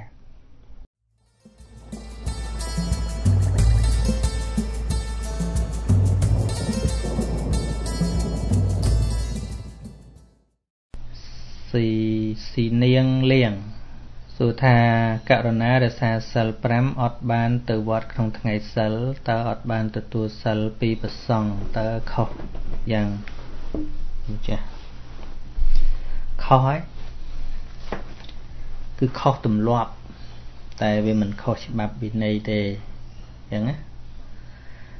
អញ្ចឹងពាក្យថាខុសគឺខុសទម្លាប់គេធ្លាប់ធ្វើ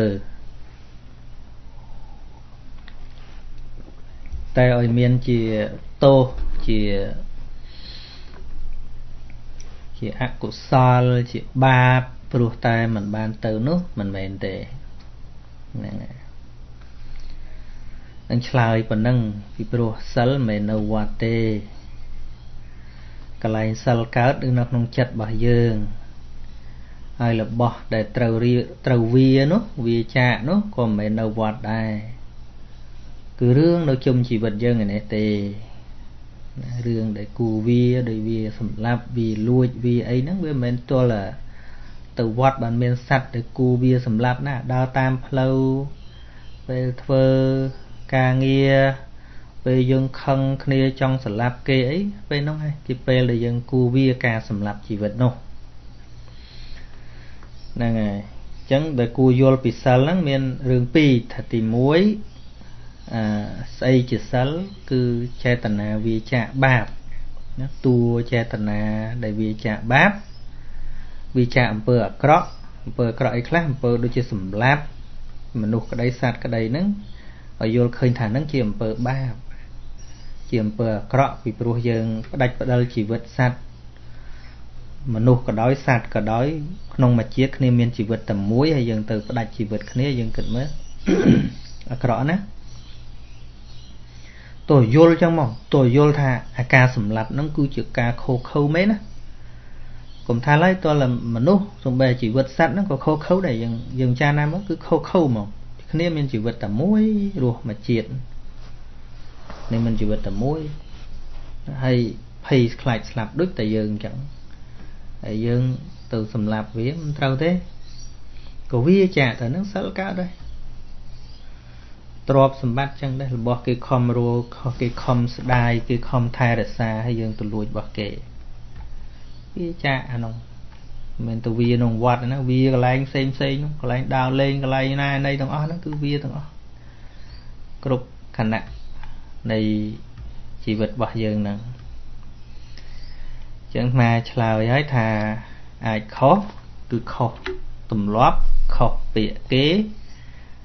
នឹងគេថាឲ្យសាសិលអីអត់ទៅវត្តអញ្ចឹងអានឹងមានគេថាអញ្ចឹងណាអានឹងខុសទម្លាប់ខុសគំនិតខុសចិត្តគេអានឹងអាចប៉ុន្តែឲ្យខុសតោះអីជាមួយនឹងធម៌វិន័យខុសតោះជាមួយពពុទ្ធនឹងអត់ទេអត់ទេនឹងស្ដាប់បន្តិចទៀតណាស្ដាប់បន្តិចទៀតទៅយល់ឡាយល់ថាសិលនឹងល្មិច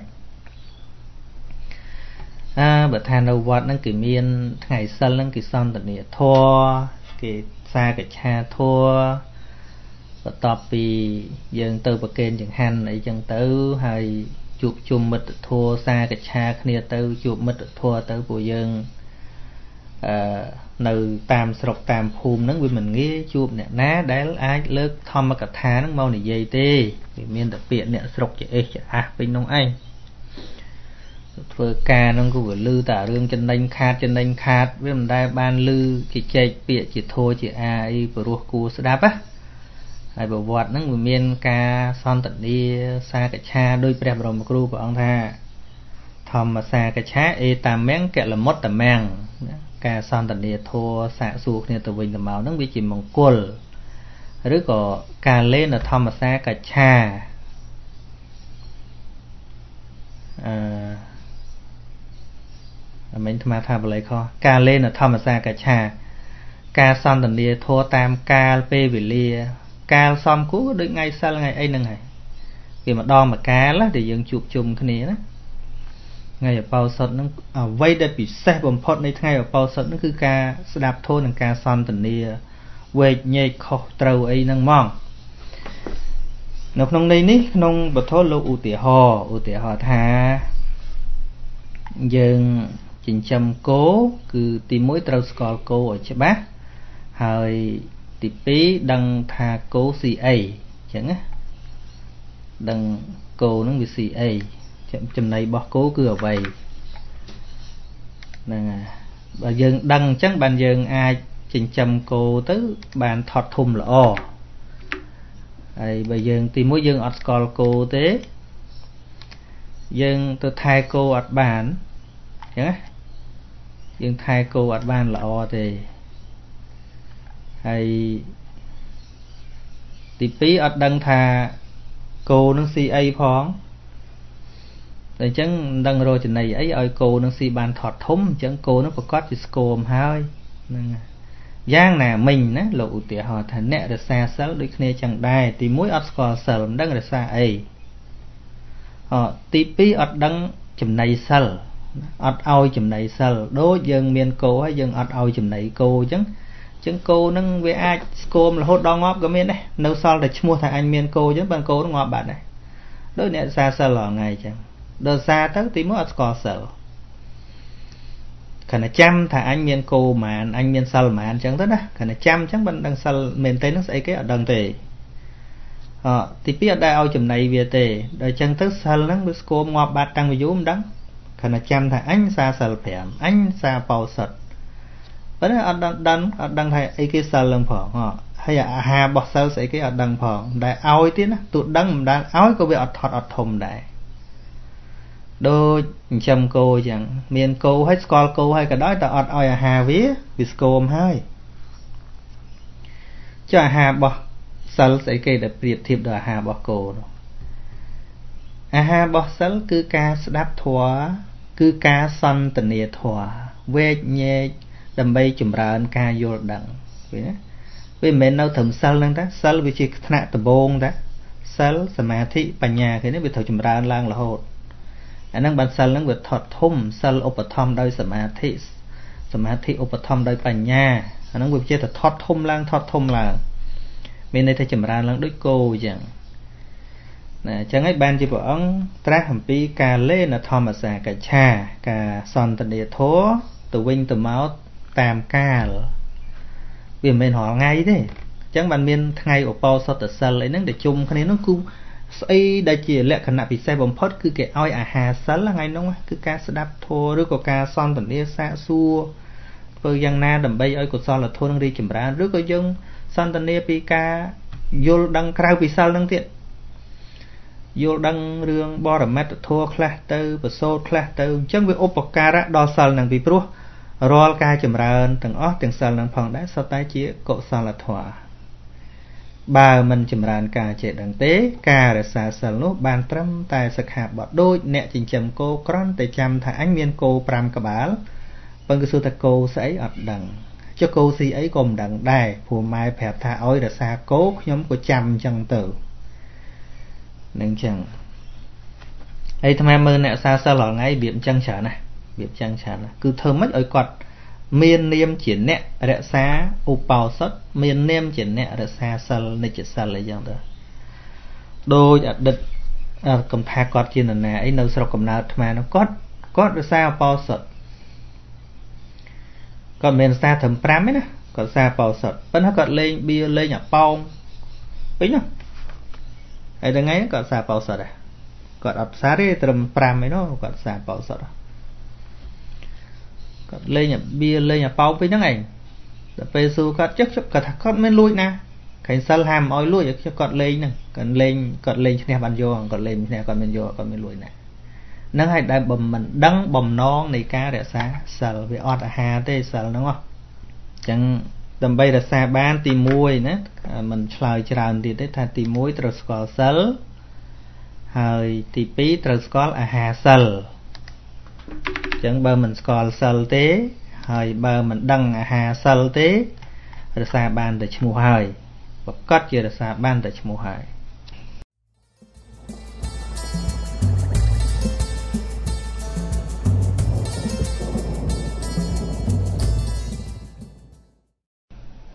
ហើយបន្តទៀតនេះអំពីរឿងអាចារ្យយោគីយោគីខ្លះគេហៅអាចារ្យខ្មោចអឺខ្លះទៀតហៅអាចារ្យភ្លុកតើមួយណាត្រូវជាងមួយណាវាចេះតែកើតបើសម័យពុទ្ធកាលអត់មានទេទាំងអស់គ្នានឹងអត់មានហ៎ ចឹងមិនដឹងថាឲ្យហៅមួយណាត្រូវបើវាអត់មានអានេះវាប្រពៃណីខ្មែរសុទ្ធហ្មងណាមានអាចារ្យខ្មោចអាចារ្យកាអាចារ្យកាន់ពលាអាចារ្យស្អីស្អីប្រពៃណីខ្មែរសុទ្ធហ្មងហើយឲ្យអាត្មាទៅវានិយាយខុសត្រូវវាវាអត់មានអីថាខុសត្រូវទេត្រូវមកពីត្រូវតាមគេទម្លាប់អាខុសខុសគេទម្លាប់តែប៉ុណ្្នឹងឯងហ្នឹងហើយបើយោគីយោគីមែនទេនោះមិនមែនមក នៅក្នុងរោងប៉ុនហើយបានរង្វាន់អីចឹងទេមែនទេបើនិយាយពីរឿងត្រូវយោគីប្រែតអ្នកប្រព្រឹត្តធម៌លះកិលេសចឹងណាគេទៅរកខ្មោចដែរតែមិនមែនរកខ្មោចចឹងទេគេរកខ្មោចព្រៃហើយគេពិចារណាឲ្យកើតសង្វេគអាហ្នឹងយោគីប្រព្រឹត្តធម៌និយមន័យដើមយោគីខ្លះទៀត មិនមែនតែរឿងខ្មោចចឹងទេអត់ខ្មោចក៏ដោយប៉ុន្តែជាអ្នកប្រព្រឹត្តធម៌ជាអ្នកនឿយណាយនឹងជីវិតប្រព្រឹត្តលះបង់កិលេសដើម្បីសេចក្តីដឹងច្បាស់ដើម្បីសេចក្តីស្ងប់អាហ្នឹងហៅថាយោគីដែរព្រោះយោគៈយោគីហ្នឹងយោគីហ្នឹងប្រែតែអ្នកប្រព្រឹត្តប្រែតែអ្នកប្រកបក្នុងធម៌អញ្ចឹងណាប៉ុន្តែប្រពៃនេះយើងក៏ធ្វើមិនឃ្លៀងឃ្លាតប្រមាណដែរឲ្យមានមនុស្សពេលមានសពស្លាប់ចឹងទៅ មានអាចារ្យមានអីមកមក ដំបូងមកឲ្យមកពិចារណាឃើញសាកសពនឹងអញ្ចឹងឲ្យមកពិចារណាសាកសពអញ្ចឹងទៅប៉ុន្តែយូរយូរវាចេះคลายយើងคลายថាតែស្លាប់ត្រូវមានអាចារ្យយោគីត្រូវមានអាចារ្យយោគីអាហ្នឹងខ្មែរយើងថាទេក្នុងធម៌អត់មាននិយាយអញ្ចឹងទោះបីតែរឿងលោកបាំងស្គលពេលសពស្លាប់ទៅត្រូវទៅបាំងស្គលអីហ្នឹងក៏រឿងប្រពៃណីសុទ្ធហ្មងបើជាការបាំងស្គលមែនទែន ណោះព្រៃខ្មោច អត់មានណាយកទៅដាក់ទេខ្មោចទៅយកទៅចោល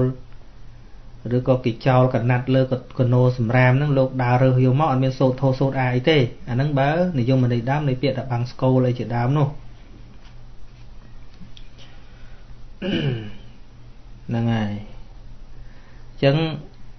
អាត្មាសុំមិនវិនិច្ឆ័យថាណាខុសណាត្រូវទេពីព្រោះខ្មែរអ្នកបង្កើតឡើងអាហ្នឹងណាហ្នឹងហើយហ្នឹង ទៅមើលតាមរបៀបប្រពៃណីចុះអាហ្នឹងក៏បើនិយមន័យនៃពាក្យថាអឺយោគីគឺអ្នកប្រព្រឹត្តធម៌លះកិលេសទេមិនអ្នកអង្គុយចាំខ្មោចងាប់ហែទៅគាត់នឹងទេមិនមែនទេបើអ្នកហែខ្មោចទៅដុតអ្នកអីបើពីសម័យដើមគេហៅថាអ្នកបំរើភ្លើងឬក៏អ្នកស៊ីឈ្នួលកប់ខ្មោចអីចឹងវិញហ្នឹងសម័យពុទ្ធកាលតែយើងមាន ភ្លុកផងមានអាចារ្យយោគីផងមានស្អីស្អីអាហ្នឹងប្រពៃណីខ្មែរប្រពៃណីខ្មែរហ្នឹងហើយបើសិនជាអាចារ្យយោគីពិតជាយោគីមែនគាត់អូគុណធម៌នឹងចម្រើនប៉ុណ្ណាទេគាត់ជួបខ្មោចពិចារណារាល់ថ្ងៃតែណាខៃឡូវាមិនមែនរឿងពិចារណាខ្មោចបន់ឲ្យតែមានខ្មោចងំអាលបានរង្វាន់អាហ្នឹងរឿងផ្សេងមួយទៀតពុទ្ធធ្វើបានរង្វាន់អាហ្នឹង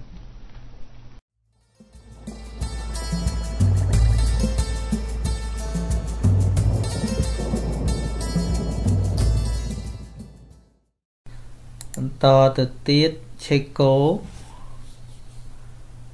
មានសំណួរមួយទៀតសូមឲ្យអាត្មានឹងឆ្លើយថាតើយើងគួររៀនអ្វីខ្លះដើម្បីអាចរស់នៅ ដោយស្ងប់ស្ងាត់ក្នុងសង្គមច្របូកច្របល់នេះបានហ្នឹងហើយការច្របូកច្របល់ដោយសារអីដោយសារចិត្តមិនបានរៀបរយបើចិត្តរៀបរយហើយទីណាក៏ស្ងាត់ដែរ ទីណាក៏មិនច្របូកច្របល់ដែរចឹងបាននៅពេលដែលព្រះបរមគ្រូព្រះអង្គពន្យល់ធម៌សំដែងធម៌ដល់មនុស្សរាប់ម៉ឺនអ្នកអីចឹងព្រះអង្គមិនដែលគិតថាព្រះអង្គនៅជាមួយមនុស្សរាប់ម៉ឺនអ្នកទេបតីរបស់ព្រះអង្គតែបង្អោនទៅរកវិវេកជានិច្ចមានរឿងមួយវិខមួយអង្គហ្នឹងលោក ទៅបិណ្ឌក៏តែឯង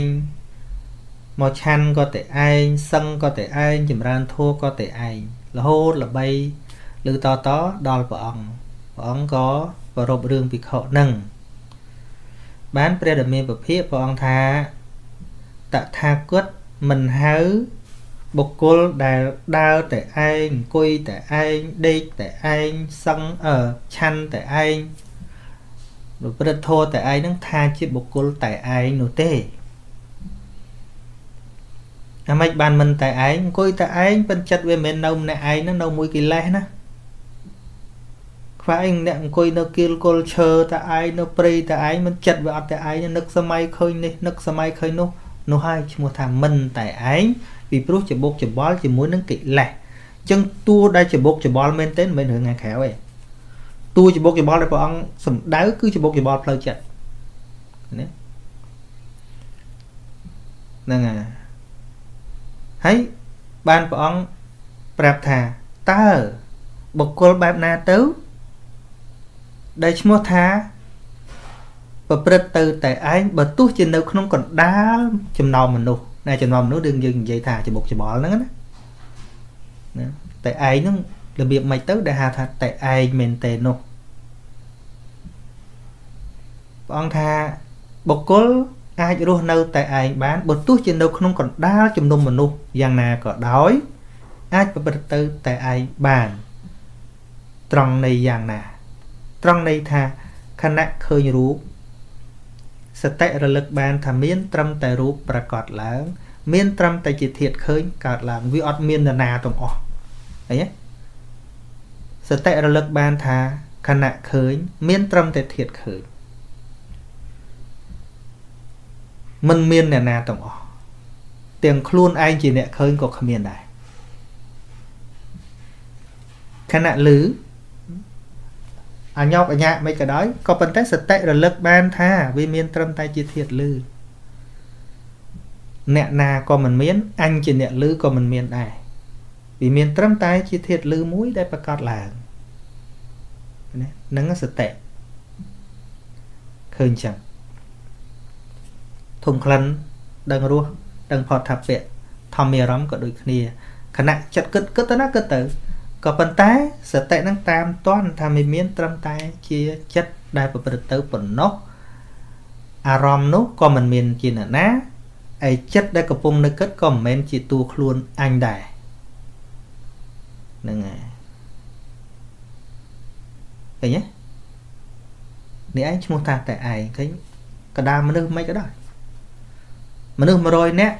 ប្រកាសឡើងត្រឹមតែជារូបមនុស្សនិយាយ100នាក់ប្រកាសឡើងត្រឹមតែសំឡេងឃើញម្នាក់ឯងទេមានន័យថាគ្មានស្អីរំខានបានទេមនុស្សបែបនេះទៅឈ្មោះថាត្រាច់ទៅតែឯងត្រាច់ទៅតែឯងគ្មានមនុស្សណារំខានបានទេតែមនុស្សអង្គុយម្នាក់ឯងអង្គុយអង្គុយនឹកសំណោះហើយនេះណោះមិនឈ្មោះតែឯងទេចិត្តនឹងច្បោកច្បល់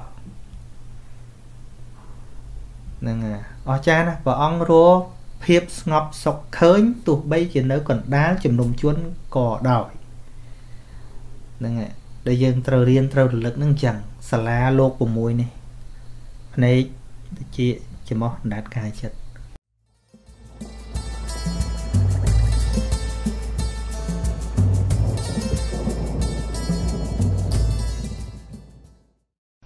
បន្តទៀត កណាថ្វាយបង្គំឲ្យសពគ្រប់មកកណាជាមនុស្សមិនងាយសម្របនឹងមនុស្សជុំវិញខ្លួនជួនកាលកណាមិនធ្វើតាមគេព្រោះជាទង្វើអកុសលតើកណាត្រូវធ្វើដូចម្តេចដើម្បីសម្របនឹងគេបានអឺវិធីសាស្ត្រដែលល្អសម្រាប់យើងវាមិនមែនរឿងសម្របឬមិនសម្របទេគឺត្រូវមើលផ្លូវដើរដែលត្រឹមត្រូវផ្លូវដែលត្រឹមត្រូវមិនមែនផ្លូវស្របទេ មិនមែនផ្លូវស្របតាមគេទេមែនទេទីមួយត្រូវមើលថាតើអំពើរបស់យើងហ្នឹងវាប៉ះពាល់ផលប្រយោជន៍គេអត់យើងនាំសេចក្តីឈឺចាប់ទៅដល់គេអត់ទី2មើលថាអំពើដែលយើងធ្វើនឹងខុសច្បាប់ទម្លាប់អត់ហើយទី3មើលគោលការណ៍របស់យើងដើរនឹងច្បាស់លាស់អត់សម្រាប់ខ្លួនយើងបើងើច្បាស់ប៉ុណ្ណឹងហើយទៅទៅ ទៅមិនទៅអាហ្នឹងទៅផ្គប់ចិត្តមនុស្សវាអត់កើតហើយបើឃើញថាមនុស្សនឹងរស់នៅជាមួយមិនកើតទេចាស់បាយបាយយើងជាសម្របមិនឧទាហរណ៍គេធ្វើចោលសម្របតាមគេដែរគេផឹកឆ្នាំញៀនយើងសម្របតាមគេដែរអាហ្នឹងវាមិនមែនរឿងចឹងត្រូវដឹងខុសដឹងត្រូវផ្លូវណាគួរធ្វើផ្លូវណាមិនគួរធ្វើ be yourself and express yourself ជាខ្លួនរបស់អ្នកពិតប្រាកដមិនមែនជាការរឹងរូសទេប៉ុន្តែត្រូវពន្លិចពីគោលការណ៍របស់យើងថាតើយើងធ្វើអីណាជាងការការធ្វើរបស់យើង ដែលយើងយល់ថាត្រឹមត្រូវហើយវាបាត់ខ្លះហើយមិត្តភ័ក្ដិនោះហ្នឹងហើយវាបាត់ហើយមិត្តភ័ក្ដិហ្នឹងគង់តែបាត់ខ្លះហើយប៉ុន្តែជាមិត្តភ័ក្ដិពិតប្រាកដមិនមែនជាមនុស្សអង្គុយរិះគន់យើង មិនមែនជាមនុស្សធ្វើឲ្យយើង build up confidence អត់បាន ធ្វើឲ្យយើងខ្សោយក្នុងការគិតចឹងមិត្តច្រើនណាក៏ប៉ុន្តែ មិត្តដែលអាចទទួលយកបាន គឺមិត្តដែលអាចធ្វើឲ្យយើងមាន confidence មានទំនុកចិត្តក្នុងការធ្វើការអីមួយណាដូចថ្មនិយាយរាល់ថ្ងៃបើសម្របតាមគេអស់អីនិយាយលីងមកបើសម្របតាមគេធ្វើម៉េចធ្វើស្រោចទឹកស្រោចគេទៅ ចងបោះចងគេទៅអាគេជឿខុសថាត្រូវដែរថាមិនចាតែខុសមកថាខុសនឹងថាត្រូវមិនពឹងសួរថាពេលអាត្មាថានឹងបាត់មនុស្សរាប់អានទេបាត់មិនមែនអត់បាត់ទេមិត្តរួមថ្នាក់រៀនជាមួយគ្នាបាត់អស់ច្រើនណាគេថាអាត្មាឆ្វេងសឹងតាភាកច្រើនដែរទេឆ្វេងក៏ដោយអត់ត្រូវផ្លូវមានណាទៅស្ដាំទៅរហូត ព្រោះយើងដឹងថាដើរទៅណាឃើញទេសំខាន់យើងដឹងថាតើយើងទៅណាមិនមែនទៅសម្របមួយនៅនេះមិនមែនទៅសម្របមួយនោះនោះការរស់នៅបើជាលក្ខណៈចរចាជារឿងមួយផ្សេងគេប្រើ diplomatic អីផ្សេងប៉ុន្តែបើជាលក្ខណៈរស់នៅក្នុងលក្ខណៈធ្វើការងារជានិច្ចកាលអង្គុយតែ please មួយគេអង្គុយតែសម្របតាមគេហ្នឹងងាប់ហើយយើងបាត់ខ្លួនយើងហើយ ហូធ្វើអីមិនកើតទេធ្វើអីមិនកើតទេអញ្ចឹងដូច្នេះជាយោបល់របស់អាត្មាអត់មានរឿងសម្របមិនសម្របអីទេសំខាន់មើលវាថាខុសហើយត្រូវរីកចម្រើនឬអត់វាប៉ះពាល់ផលប្រយោជន៍គេអត់ព្រោះវាមិនប៉ះទេវាគ្រាន់តែខ្ទាស់ចិត្តគេសោះហ្នឹងគេចេះលេងខ្លះទៅមានន័យអូគេជេរខ្លះទៅវាមិនសូវស្ងាត់ ដើរកាត់ភូមិអត់ឆ្កែព្រុសសោះមិនកាត់ភូមិខ្មោចឯភូមិខ្មោចមានខ្ចាក់កាត់ឆ្កែលូដែរ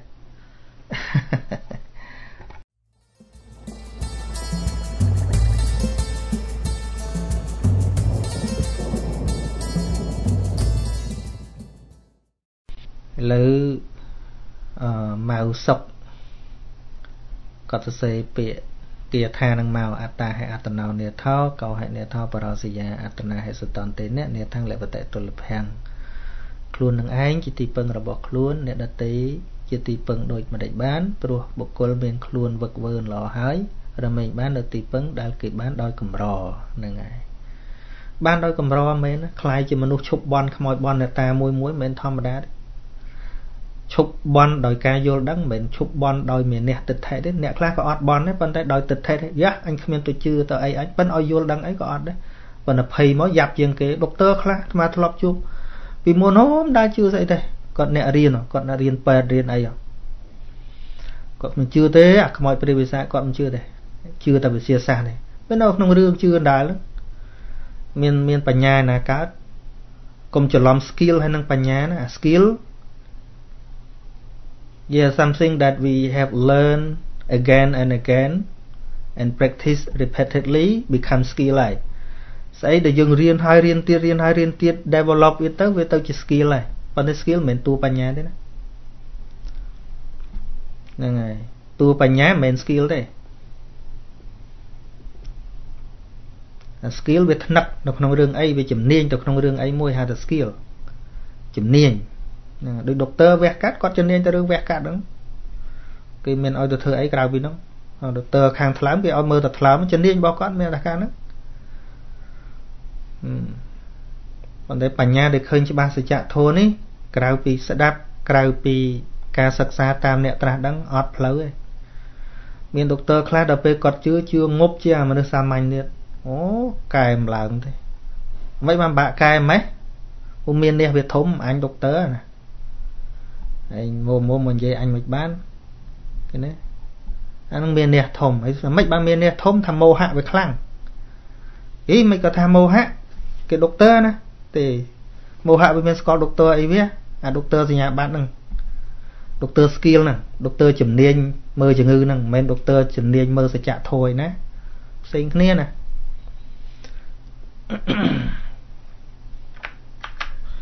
បើគ្រាន់ថា បើគេអ្នករៀនជំនាញច្រើនហ្នឹងបានពេលមកសង្កេតពិនិត្យនៅសច្ចធម៌នេះវាមានឱកាសច្រើនរៀនឆាប់ឆាប់យល់មានឱកាសច្រើនដូចបងម្នាក់នៅកាណាដាគាត់គាត់ជា professor ដល់ពេលគាត់ផ្ដើមរៀនអភិធម្មតន្តិចគាត់គូយ៉ាក្រាមឲ្យគេរៀនបានឡើងយ៉ាងលឿនគាត់ចេះវិធីចេះវិធីបែងចិត្តចេតសិករូបគាត់គូតារាងចេញទាំងអស់ព្រោះមនុស្សអ្នករៀន ពោះបើសិនមករៀនពុទ្ធវចនៈវិញវាវាមានទុនសម្រាប់គិតព្រោះបរមត្តធម៌ដោយគណិតវិទ្យាចឹង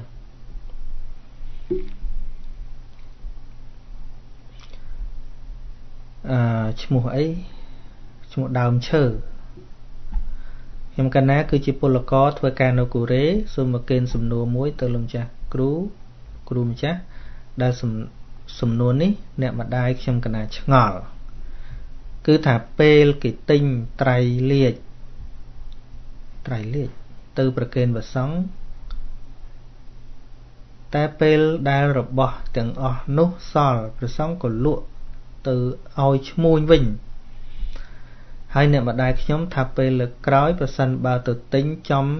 របស់ដែលគេប្រើរួចហើយនោះយកមកប្រគេនព្រះសង្ឃម្ដងទៀតតើបានបុណ្យឬអត់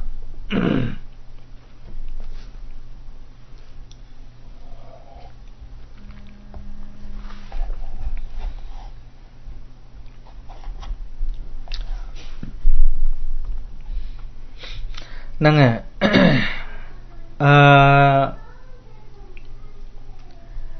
អាត្មាសូមនិយាយខាងលើបន្តិចអារឿងរឿងលោកលក់ឲ្យគេណាត្រៃលាជមិនលាជបែបហើយជាលៀងត្រៃលៀងវាមានត្រៃធំហើយនឹងលៀងលៀងនេះគេប្រើតូច មានតែស្បង់ជីវរអីចឹងហៅថាលៀងហើយបើថែមសង្កដីឲ្យមួយផងគេហៅត្រៃព្រោះវាគ្រប់ទាំង3ស្បង់ជីវរសង្កដី ហើយយកទៅលក់អឺអាត្មាឮពាក្យហ្នឹងអាលក្ខស៊ីក្នុងចិត្តអាត្មាវាដូចជាអាម៉េចទេរបស់លោកសង្ឃដែលសល់របស់តខ្លួននេះកុំនិយាយរបស់សង្ឃបើរបស់សង្ឃដូចថារបស់ដូចជាអឺករុផនអញ្ចឹងយើងអាចយកទៅចែកយកទៅអីបានទេ របស់ដូចជាត្រៃលៀងដូចជាជ័យវរៈជ័យវរអីអីនេះរបស់លោកសង្ឃនេះបើបានឮថាឥឡូវវាច្រើនពេកលោកធ្វើទៀនចែកទៅវត្តណាណាដែលលោកខ្វះខាតព្រោះស្ដាប់ដល់ឮលោកសល់ច្រើនពេកយកទៅលក់អីចឹងដូចអាក្រក់ស្ដាប់មែនតើមក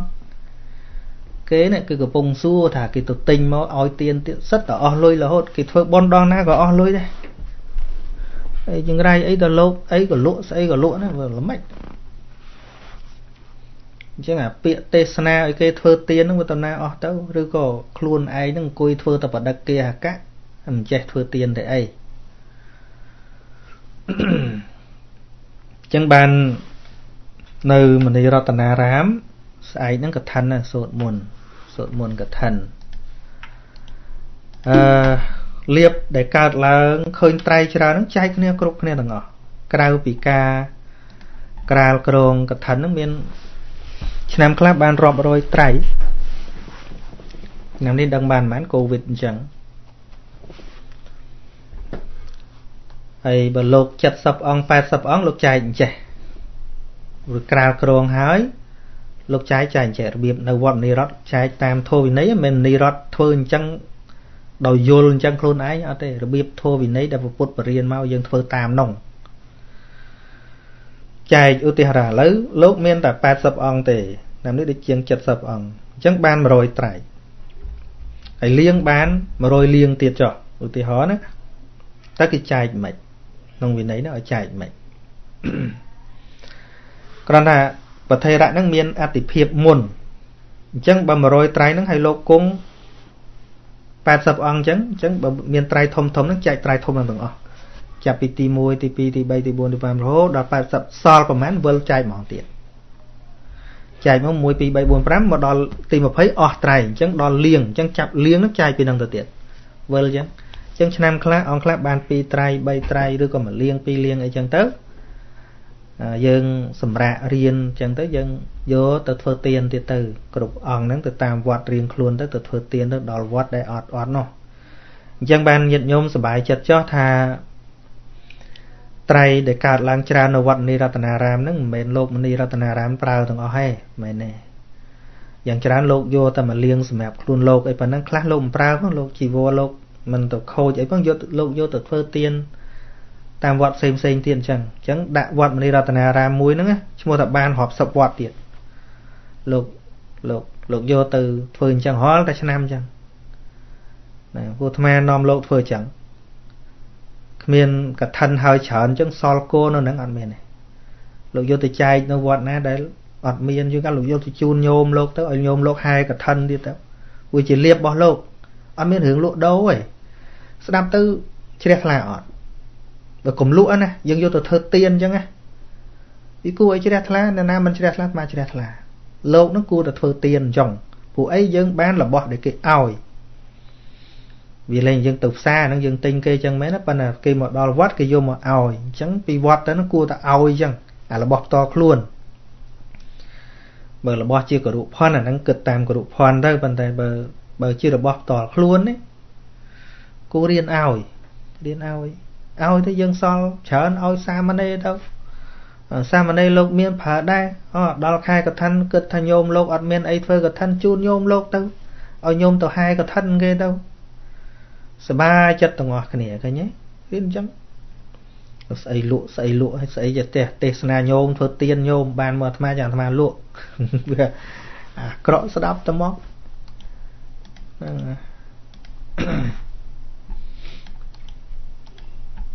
ធ្វើទៀនទៀតទៅអើបើនៅបរទេសទេមិនដឹងឲ្យអ្នកណាមកមិនដឹងណាព្រោះនៅវត្តបរទេសខ្លះលោកមានអាពី3អង្គដាក់ត្រៃវាច្រើនពេកមិនដឹងយកទៅណាចុះចិត្តទិញវិលចុះវិលឡាហ្នឹងមិនដឹងទេបើកាលណានៅស្រុកខ្មែរយើងស្រុកខ្មែរយើងខ្វះណាស់វត្តដែលអត់មកកកោកសាមណេរដែលគ្នាអត់មកកកោកកឋិនវត្តខ្លះហ្នឹងទៅច្រើនទៅលុយគ្មានសុជីវរបងស្លៀកហ្នឹងចែកទៅ ចែកទៅតាមវត្តអត់អត់ចឹងទៅវាជារបស់ផ្ទាល់ខ្លួនរបស់យើងហើយមកសំណួរសំណួរសួរថាចុះបើយើងទៅទិញចំអារបស់លោកលក់របស់គេប្រើហើយហ្នឹងរឿងប៉ុនរបស់យើងមិនអាចខ្ទេចខ្ទីដោយសារឬគេធ្វើមិនទេប៉ុនរបស់យើងនៅតែជាកុសលអញ្ចឹងនៅជាកុសលយ៉ាងអត់មានខូចអីទេ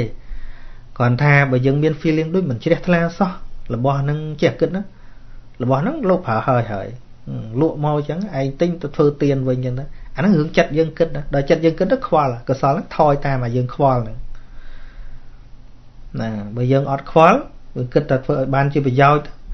ឥឡូវបើលោកវត្តហ្នឹងវាសបោយើងទៅទិញលោកវត្តហ្នឹងវាវាសបោពេកទិញថោកជាងផ្សារទៅទិញពីលោកហ្នឹងយកទៅប្រគេនវត្តផ្សេងអានេះឆ្លាតកុសលកើតល្អដែរឃើញទេបើយើងទៅមួយលោកហ្នឹងឧទាហរណ៍ទៅលោក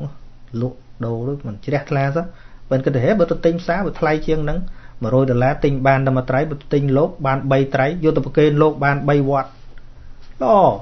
អត់មានបញ្ហាអីទេហ្នឹងប៉ុនអានោះដល់យើងធ្វើចិត្តឲ្យស្រួលដែរបនយើងអត់មានខ្ទេចខ្ទីអីទេឲ្យតែយើងធ្វើឲ្យកើតជាប្រយោជន៍ធ្វើម៉េចឲ្យកើតជាប្រយោជន៍គឺថារបស់នេះទុកវត្តច្រើនពេកក៏មិនកើតសុំលោកក៏លោកមិនឲ្យលក់លោកឲ្យលោកលក់អីចឹងណាទុកអត់ប្រយោជន៍អញ្ចឹងទិញថោកថោកយកទៅប្រគេនតាមលោកក្រក្រតាមវត្តស្រុកស្រែឆ្លាតមកថាឆ្លាតហ្នឹងកុសលញាណសម្បយុទ្ធទៀតណាកុំគិតរឿងចង់បានបនច្រើនគិតថាធ្វើម៉េចឲ្យវាចំណេញគិតថាធ្វើម៉េចឲ្យឲ្យបានលោកដតីទៀតប្រើអូអាហ្នឹងកុសលល្អណាស់